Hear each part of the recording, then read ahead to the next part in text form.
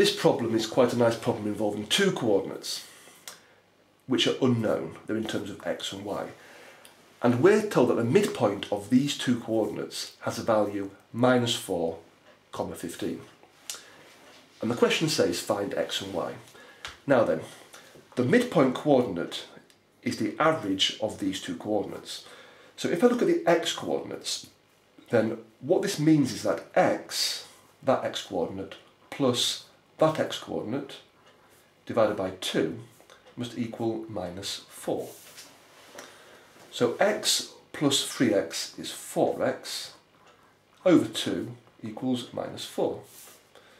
Now 4 over 2 is 2, so 2x equals minus 4. So if I divide by 2, x equals minus 2. So therefore I found the value of x, it's got to be minus 2.